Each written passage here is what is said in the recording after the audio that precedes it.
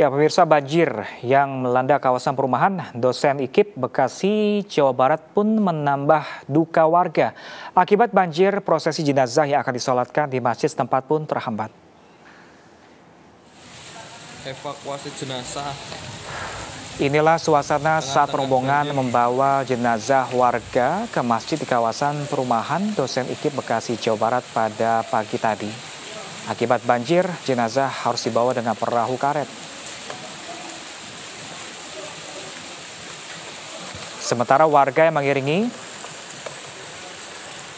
terpaksa berjalan menembus banjir.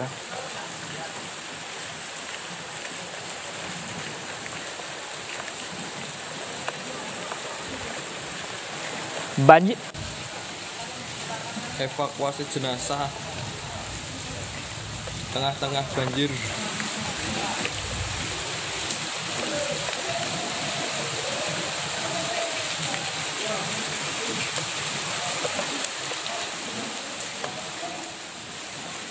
Banjir di kawasan permukiman ini mencapai 1 meter.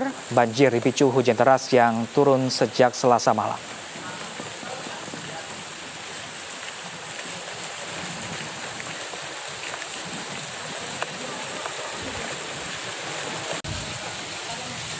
Evakuasi jenazah tengah-tengah banjir.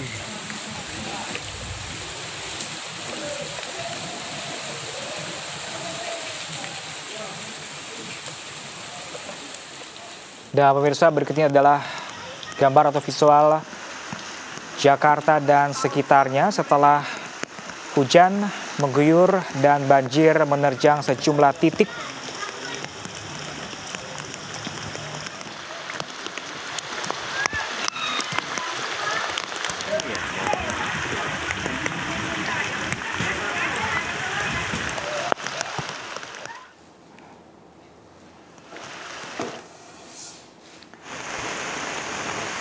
Sementara pemirsa di daerah kolong tol Meruya yang memang kerap dilanda banjir jika diguyur hujan dengan intensitas tinggi, di mana banjir ini terjadi lantaran kondisi saluran air atau drainase yang menyempit.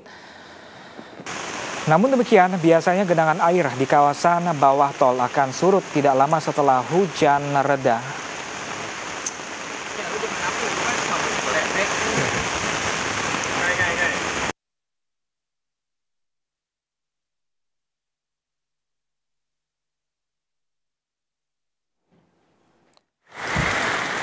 Lainnya, ketinggian air mencapai 40 cm, tepatnya di Mutiara Gading, Bekasi.